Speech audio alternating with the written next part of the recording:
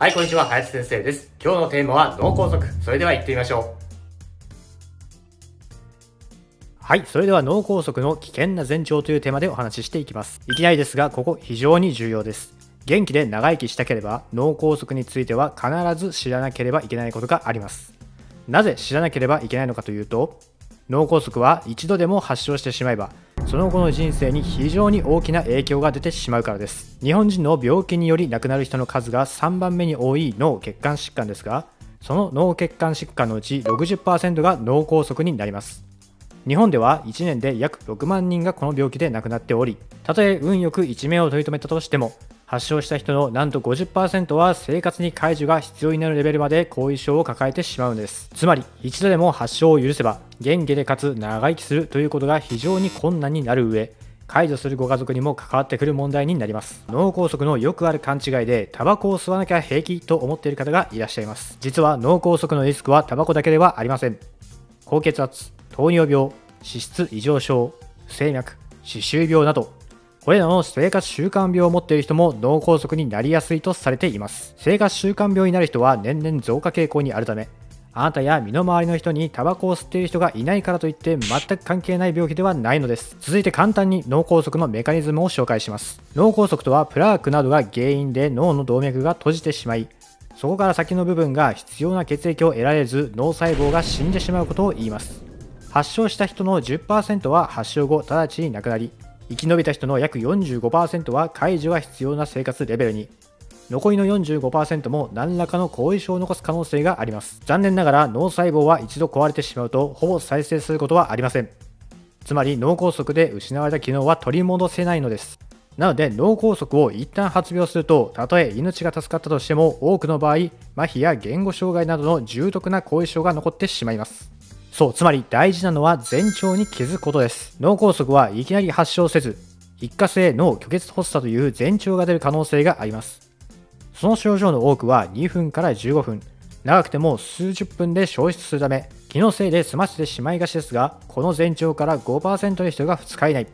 10%から20%の人が3ヶ月以内に脳梗塞が発症すると言われています。そして逆に、これらの前兆に気づき、適切な処置を受けることで、なんと8割の人が脳梗塞を発症せずに済むんです。なので、ここからは脳梗塞の前兆、そして初期症状を5つご紹介いたします。自分がなった時もですが、周りの誰かがこれらの症状になった時も気づいてあげるのが重要になります。チャンネル登録なので、この動画を保存して怪しいことがあった時はすぐ思い出せるようにしておいてください。それでは脳梗塞の5つの前兆と初期症状です。1つ目は力が入らない、脱力感や麻痺のことを指します。脳に障害が起きると右半身または左半身に脱力感や麻痺が起きます。顔に麻痺が起きると顔の半分が動かなかったり、飲み物が口の片側からこぼれるようになります。手が障害されると物を落とし、足に起きると転んだり足を引きずることもあります他にも正座などで圧迫したわけではないのに足がしびれたという痛みを感じることもありますこれらの症状は代表的なもので人によって麻痺する部分や出てくる症状は様々なので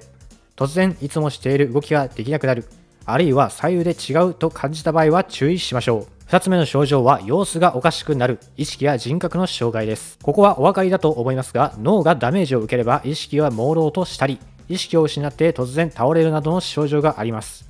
ですが、それ以外にも脳梗塞による意識の異変があります。実は人格や理性を司る部分が障害されると、普段は普通にしている人が突然暴れ出したり、何もないのに爆笑しだしたり、尻滅裂で強盗無形なことを口走ることがあります。こういった症状は自分では自覚しづらいので、見かけた時は何かいきなりおかしくなったと慌てるのではなく、脳の異常のサインかもしれないと気づいて119番などの適切な処置が重要になります。3つ目の症状は会話ができない言葉の障害です。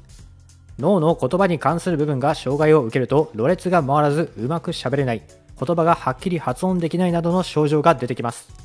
また脳の言語やの障害を受けると言葉そのものが理解できなくなります。声は出るのに言葉が出てこない。人の話が理解できない。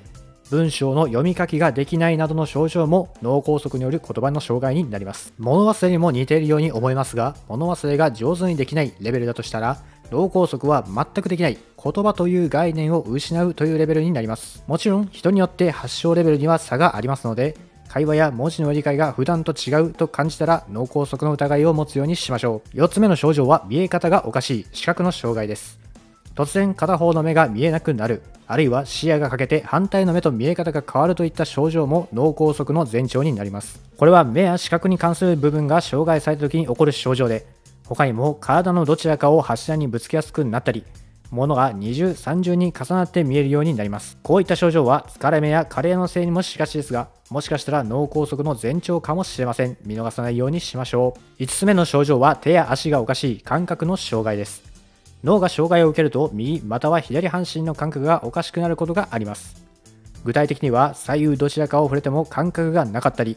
湯飲みを持っても片手だけ熱さがわからない。立った時に片足だけ感覚がないなどがあります。また強烈なめまいで足で立っていられなくなることもあります。雲の上を歩くようにふわふわするめまいや体あるいは周りが回転するといった耳から来るめまいと似ていますが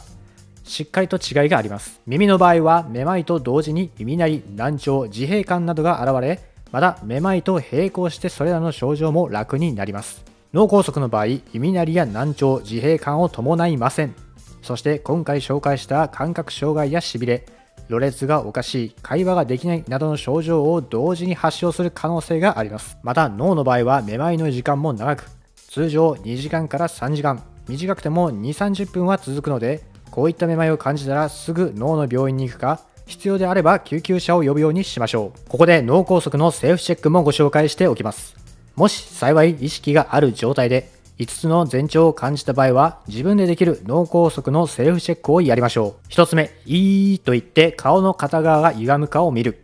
2つ目両手を持ち上げると片手だけ落ちる。あるいは上がらない。3つ目本日は晴天なりとはっきり言えない。これらは先に説明した5つの前兆を簡単にチェックする方法であり覚えておけば調子の悪い人にやってあげることもできます。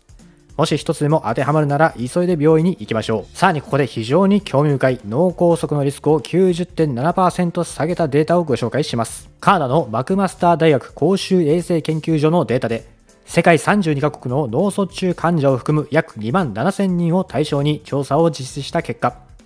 高血圧脂質異常症肥満糖尿病心血管疾患などの生活習慣病そして喫煙飲酒運動不足ストレス不健康な食事これらを改善するとあらゆる地域年代性別での脳梗塞リスクが90.7%低下するということが分かりました。つまり体にいい生活をしていれば脳梗塞は9割方回避できるというわけなんですね。脳梗塞の予防策についてもお伝えしておきます。当たり前ですが健康にいい生活をしましょう。タバコや暴飲暴食はやめて適度な運動健康的な食事ストレスの解消これらをするだけで脳梗塞になる可能性はぐっと下がります。また血液がドロドロだと拘束の原因である血栓ができやすくなるためこまめな水分補給も大事になります。喉が渇く前に1時間にコップ1杯のお水を飲むようにしましょう。最後にまとめです。拘束は一度発症すると取り返しのつかないことが多い非常に危険な病気です。今回紹介した脳梗塞の前兆は1力が入らない。2様子がおかしい。3会話ができない。4見え方がおかしい。5手や足がおかしい。これらの前兆はすぐ消える可能性があり。その後数日から3ヶ月以内に脳梗塞が発症する可能性があるため絶対に気のせいにはしないでください。もしこの病気にかかったことがあるあるいはかかった人が身の回りにいるといった場合はその時の体験談をコメントに書いていただくと他の方の強い助けになります。ぜひよろしくお願いいたします。またご家族や友人で脳梗塞の危険性がありそうな人に関してはぜひこの動画を教えてあげてください。本チャンネルではこういった必ず未来に役立つ健康情報を毎日更新しています。登録ボタンを押していつでも最新の情報をチェックできるようにしておいてください。それではまた明日も一緒に健康元気を目指していきましょう。お届けは隼人先生でした。